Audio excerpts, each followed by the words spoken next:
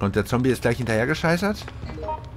Ich bin aber immer noch okay. Ja, kommt gleich hinterher gescheißert. Oder beziehungsweise sie kommt gleich hinterher gescheißert. Ja, ja. Viel Spaß. Du hast eine Waffe. Schlag einfach zu. Also Cindy und George werden es ja wohl schaffen, mit so ein, zwei Zombies fertig zu werden. Ich kann doch nicht alles für die machen. Ich bin doch kein Babysitter. Soweit kommt noch hier. Der Schwarze muss wieder die ganze Arbeit machen, ja? Natürlich. So, hier ist das Repair Tape. Und jetzt lasse ich natürlich das Emblem hier liegen. Super. Was ist das da? Das ist, ach, das ist das Emblem. Oh Mann, ich lasse mich immer irritieren, weil das...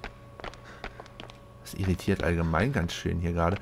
Äh, äh, da hinten glitzert was. Glitzer, Glitzer. Glitzer, Glitzer. Jetzt krieg Kletter da runter, du Blödmann. Jim? Jim? Och Mann, Jim! Kletter doch einfach die Kiste runter. Aber warum macht denn der das nicht? Okay, muss ich die Kiste schieben? Die sieht so schwer aus. Ja, das war so klar. Okay, was auch immer das ein Gegenstand ist, ich kann ihn nicht erreichen. Weil ich nicht Mark bin. Es ist ein bisschen gemein, muss ich sagen. Gut, dann gehen wir jetzt runter, reparieren das Dingens. Kommen dann wieder hoch, holen uns das Emblem, bringen das runter zum Bahnsteig. Und dann können wir das Wasser wieder aufdrehen. Denn ich weiß, was passieren wird, wenn wir das Wasser aufdrehen. Und das möchte ich noch so ein bisschen hinauszögern, bin ich ganz ehrlich. Das ist nämlich nicht schön. Und macht das Hin- und Herlaufen hier nicht angenehmer. Da ziehe ich die Zombies vor.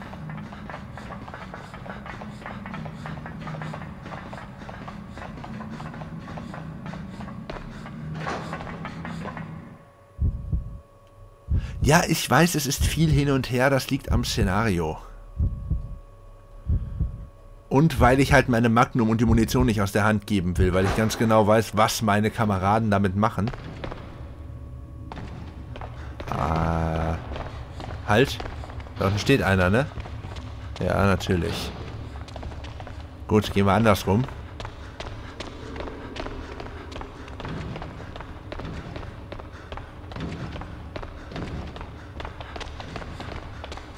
Leute, kommt.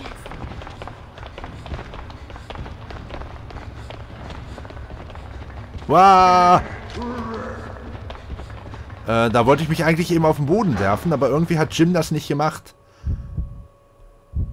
Gut, ich kann damit leben, weil die Zombies haben uns nicht getroffen, aber es war eigentlich schon ein bisschen doof, dass das jetzt so nicht funktioniert hat, wie ich mir das vorgestellt hatte. So, wir rennen hier gleich weiter, vor allem weg von der Tür. Genau deswegen. Wie viele sind denn das? Zwei. Okay. Viel Spaß, Leute. Solange die hier drin sind, sind die nicht draußen. Boah, das ist eine Logik, wa? Ich wette, da kann keiner von euch irgendwas gegen sagen. So, wir müssen jetzt hoch und uns das Emblem wiederholen.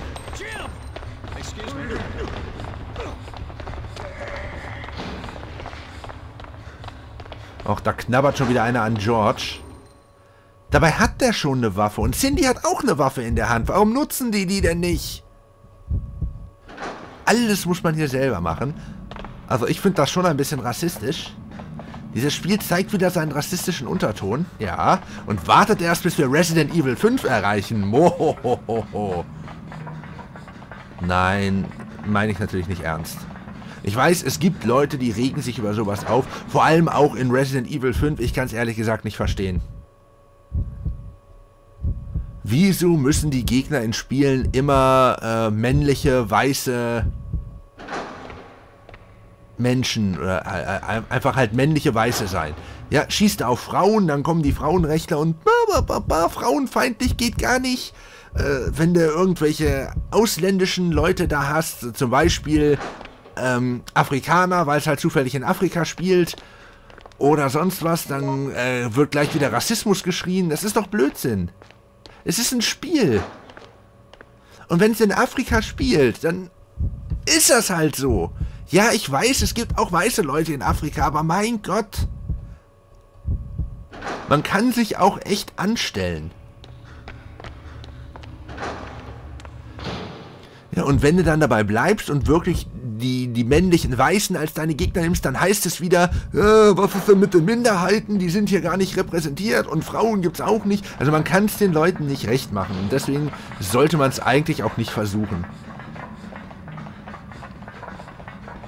Und vor allem muss ich sagen, Rassismus funktioniert auch in beide Richtungen. Äh, also es kann auch Rassismus gegen männliche Weiße sein.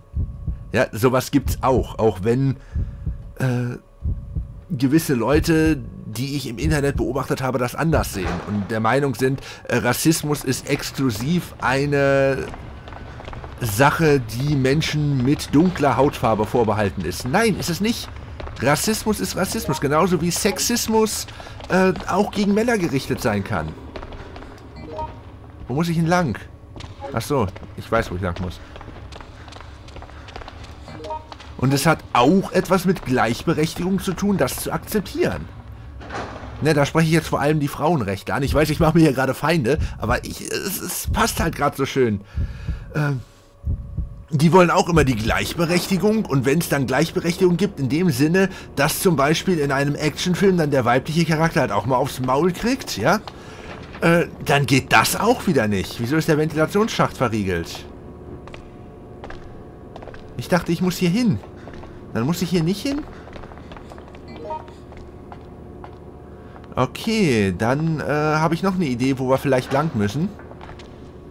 Und zwar in der Angestelltenpassage, da war ja ganz im Osten, also ganz rechts auf der Karte, war auch noch ein Abschnitt, wo man rein konnte, wo ich dann gesagt habe, ja, das führt wahrscheinlich dann zu der anderen Plattform. Da gehen wir jetzt einfach mal hin. Und dann sehen wir uns da um. Und ihr seht schon, äh, nee, warum ich mir so ein bisschen Sorgen um... Nein! Meine Virusleiste mache, vor allem wenn ich hier ständig in irgendwelche Zombies reinrenne.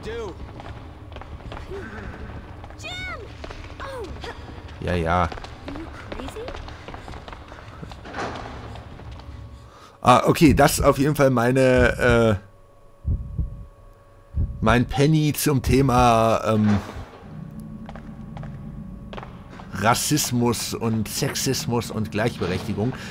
Ich werde auf das Thema jetzt auch nicht mehr weiter eingehen. Ich wollte das jetzt einfach mal loswerden, weil es gerade so schön gepasst hat und weil ich mich so ein bisschen in Rage reden konnte und weil ich dann tatsächlich auch mal ein bisschen Inhalt habe, der über, ja, und dann renne ich wieder in die Wand äh, hinausgeht. Und das ist ja schön, wenn man sowas auch mal ansprechen kann. Auch wenn ich mir damit jetzt vielleicht die eine oder andere Kritik oder negative Bewertung oder sonst irgendwas mit einfange. Ah, ganz ehrlich, meine Meinung ist meine Meinung und die muss auch nicht jedem schmecken. Ich sehe es halt so, für mich ist Gleichberechtigung halt wirklich Gleichberechtigung und nicht... Ja, immer auf den Schwarzen.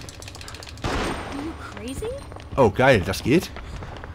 Äh, und du stehst trotzdem wieder auf. Was bist du denn für ein Arsch? So, ist das überhaupt der richtige Weg? Ja. So, und jetzt bin ich natürlich gelb. Na toll. Aber hier liegt ja genug Heilung überall rum. Ja, ja, ja. Nerv nicht.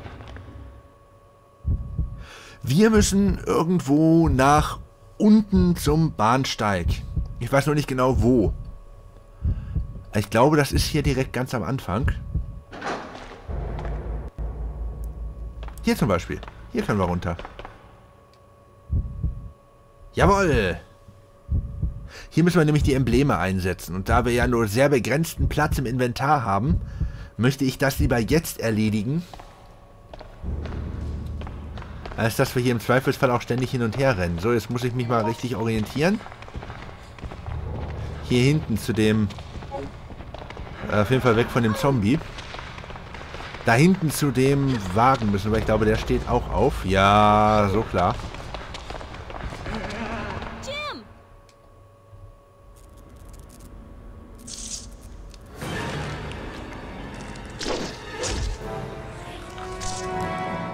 Das ist, Achtung, Wortwitz oder Wortspiel, der Megabyte. Das ist ein äh, mutierter Riesenfloh. Und die gibt es in zwei Varianten. Die vollgefressenen, die schon mit Blut vollgepumpt sind. Das ist das, was wir hier gerade gesehen haben. Und dann gibt es die noch in einer kleineren Variante.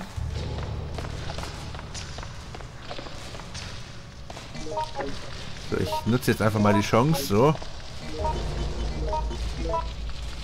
Ich glaube, das zweite Emblem liegt sogar hier unten irgendwo rum.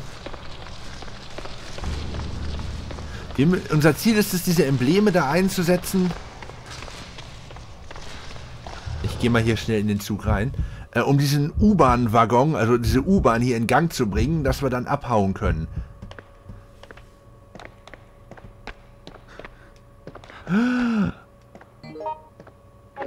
Assault Rifle, die ist natürlich noch viel besser als die Magnum.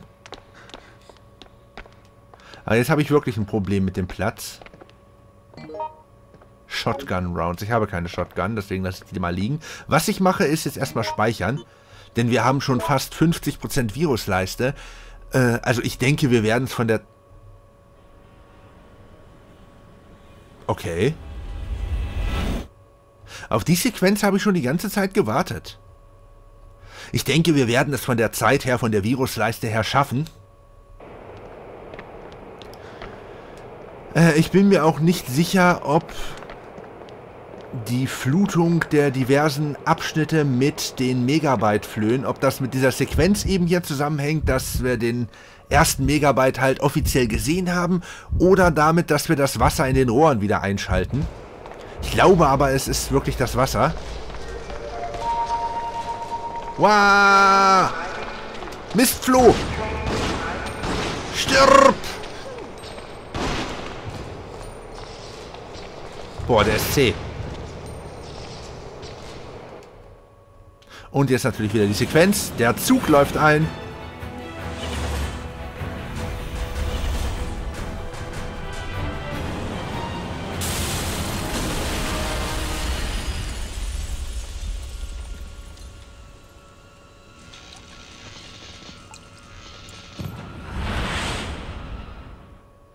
Und das jetzt der Grund, warum wir das Rohr reparieren müssen. Jetzt müssen wir nämlich die Sprenkleranlage einschalten, um diesen Brand zu löschen. Und dann, ich glaube, aus den Trümmern kriegen wir das zweite Emblem. Und das ist ja unser Ziel. Und jetzt will ich aber erstmal den äh, Megabyte hier erledigen.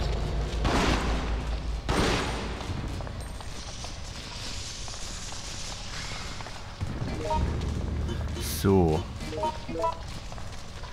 Ich glaube, wir kriegen auch gerade eine Rauchvergiftung. Also mein äh, Controller vibriert auf jeden Fall. Deswegen wir hier unten jetzt mal ganz schnell abhauen.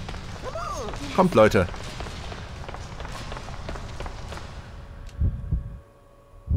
Wir gehen jetzt wieder nach oben. Wir ähm, gehen jetzt wieder zum Ventil. Ich muss mich nur kurz orientieren, wo wir hier sind. Ich glaube, es geht gleich hier durch, ne? Ja. Ich glaube, mit der Magnum und dem äh, Sturmgewehr sind wir auch bestens ausgerüstet, um es mit dem Boss dann aufzunehmen. Vielleicht kann der eine oder andere von euch sich schon denken, wie der dann heißen wird. Ach, scheiße. Sie sind da. Da geht's nicht lang. Das ist die kleine Variante. Wenn die uns anspringen und sich an uns festsaugen... Ich... Scheiße. Wo renne ich denn lang, ich Idiot? Ungefähr so, wie der da das jetzt macht. Und der da auch. Scheiße. Dann treffen die uns nicht... Äh, zum einen treffen die uns jetzt ein paar Mal. Und dann wachsen sie zu den großen Varianten. Oh, vergiftet bin ich auch noch. Na super! Giftig sind sie auch. Scheiße. Ah, hier unten war irgendwo ein blaues Kraut, meine ich mich zu erinnern, oder? Irgendwo war ein blaues Kraut. Und sonst kann Cindy uns doch helfen. Die hat doch blaue Kräuter in ihrer Kiste.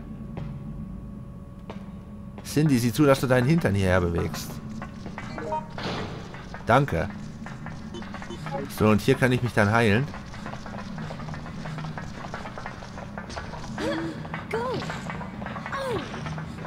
Ja. Ernähre den kleinen Scheißer. Warum auch nicht? Ah, pass auf. Erledigt wissen. So. Ich habe die Munition und ich muss die Pistolenmunition nicht für den Boss aufsparen. So, wie gesagt, also wir haben hier jetzt die Megabytes und äh, vielleicht kann sich der eine oder andere von euch ja schon denken, was eventuell der Boss dieses Abschnittes ist und wie der eventuell auch heißt.